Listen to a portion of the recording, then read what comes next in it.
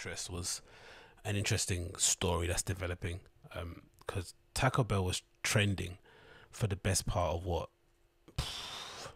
I'm gonna say the day, right? Taco Bell was trending in the United States on Twitter, um, mostly because of this video that went viral of one of the guys that works, or someone that works at Taco Bell, being fired or effectively showing himself being fired uh, by Taco by his manager because he decided to wear a face mask that had Black Lives Matter written on it. I mean, his little, you know, political protest that he did at his workplace, which raised some interesting questions about um, you know, the need to conform in a, in a corporate workspace and what that means, and the, you know, the corporation's right to essentially dictate what you wear in terms of a uniform.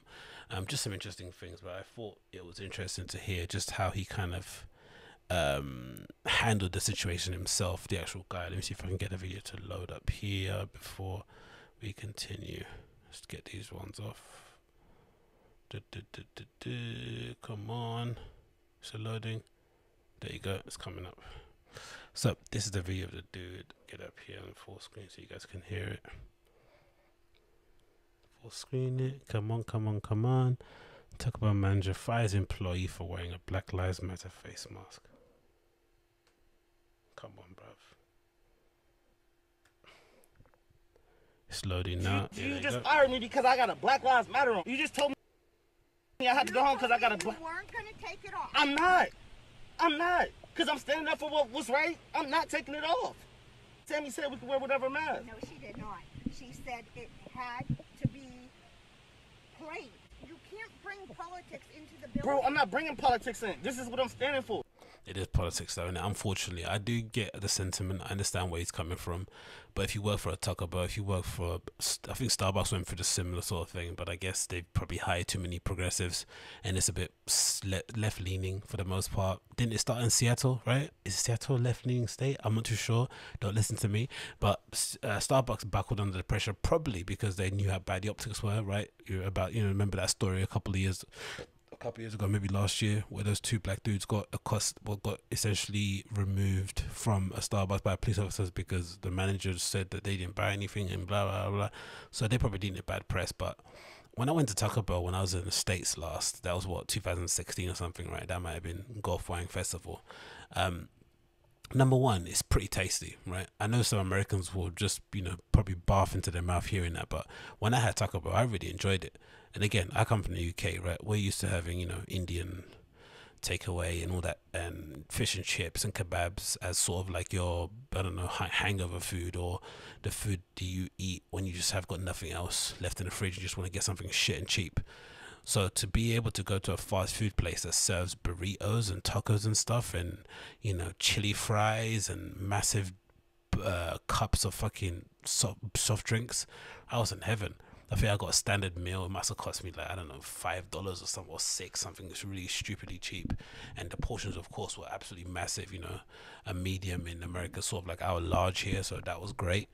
Um, and I didn't get the shits because that's usually the universal sign of going to Taco Bell. You get the shits the next day, but I found it pretty filling, and it sort of lined my stomach for the entirety of the Gulf Wine Festival. Um, I didn't mind it really, but you know, going in there, it was quite dreary, quite dead the members of staff that were in there could not give more of a single fuck. And this must have been one random one I found in LA. I forgot where exactly it was, but um, I just remember the staff not really caring. Um, they were pretty low energy and pretty lethargic, not really caring about the job they're working in. It's a fast food joint. What they're gonna do? Um, but it did seem as if like you know they were all wearing the uniform. They all had a little hat on. He's got the polo or the shirt um, it didn't really strike me as a place where you could turn up and wear a hooded top or something, right? You kind of had to conform to some level, to some degree. And I'd imagine it'd be the same as a place like McDonald's or like KFC. You probably do the same thing. Um, so I think you're if you're this guy, you're putting your employer in an impossible situation because you well you know full well when you work in this kind of place because I've worked in something similar like a bowling lane, a bowling alley place sort of place, right, where I was essentially looking after the fried food section. I'd essentially make people nuggets and chips and stuff.